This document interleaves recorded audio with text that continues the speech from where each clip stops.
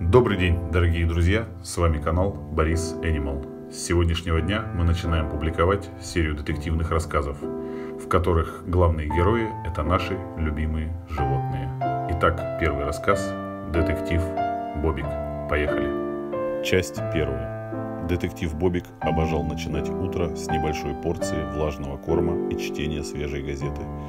Так он встретил и утро 24 ноября 2018 года. Все начиналось как всегда. Приятный завтрак должен был перетечь в рутинные дневные будни. Но статья на третьей странице оборвала спокойствие детектива. В той самой статье под заголовком «Криминальные сводки» находился призыв к Бобику бросить кабинетную работу и устремиться на поиски опасного преступника.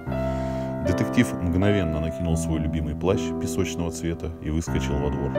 По пути в участок Бобик прокручивал текст статьи в своей голове. Кражи породистых собак из приютов города. Уже шесть случаев. Работает серийный преступник. Наш герой ракетой ворвался в участок и, не тратя время на приветствие своим коллегам, вошел в кабинет своего шефа, полковника Балу. Шеф сидел за столом и спокойно, без эмоций, поедал курочку. Конечно, на его спокойствие влияло синдернарское происхождение, и даже столь громкое появление детектива в его кабинете не изменило настроение Балу. Отдав честь полковнику, Бобик принялся давить на него, уговаривая отдать это дело ему. Балу покачал своей огромной головой в знак согласия и усадил детектива на стул. Между ними завязалась беседа. Полковник и сам хотел отдать это дело нашему герою, но позже, после своей трапезы. Так детективу в руки попали материалы по интересующему его делу.